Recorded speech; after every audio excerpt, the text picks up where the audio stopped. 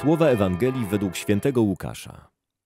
Jezus powiedział do niektórych, co ufali sobie, że są sprawiedliwi, a innymi gardzili tę przypowieść. Dwóch ludzi przyszło do świątyni, żeby się modlić. Jeden faryzeusz, a drugi celnik. Faryzeusz stanął i tak w duszy się modlił.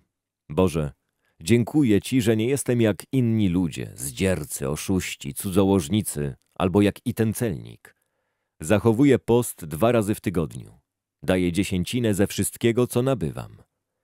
Natomiast celnik stał z daleka i nie śmiał nawet oczu wznieść ku niebu, lecz bił się w piersi i mówił: Boże, miej litość dla mnie, grzesznika. Powiadam wam, ten odszedł do domu usprawiedliwiony, nie tamten. Każdy bowiem, kto się wywyższa, będzie poniżony, a kto się uniża, będzie wywyższony. Dziś Jezus daje nam konkretną wskazówkę, co jest kluczem otwierającym serce Boga. Jest nim pokora. Kto zgina kolana do modlitwy, musi pamiętać, że postawa ta winna wypływać z serca człowieka. Pokorny uniża się przed Bogiem, bo jest świadomy swojej niegodności stania przed majestatem Najwyższego. Człowiek pyszny i zadufany w sobie uważa siebie samego za godnego czci i szacunku.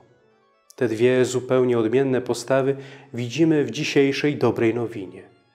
Usprawiedliwionym do swojego domu wrócił celnik, a nie faryzeusz.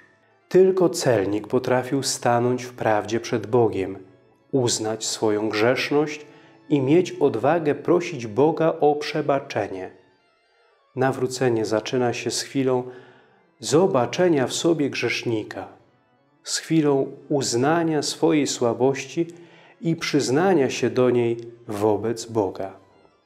To, co często paraliżuje nas przed przyznaniem się do błędów, grzechów, jest strach przed opinią innych. Bo co sobie o mnie ludzie pomyślą? Dulszczyzna, tak trafnie scharakteryzowana w dramacie Gabrieli Zapolskiej, jest błędnym kołem, które prowadzi do coraz większego zakłamania, a przez to coraz bardziej zniewala.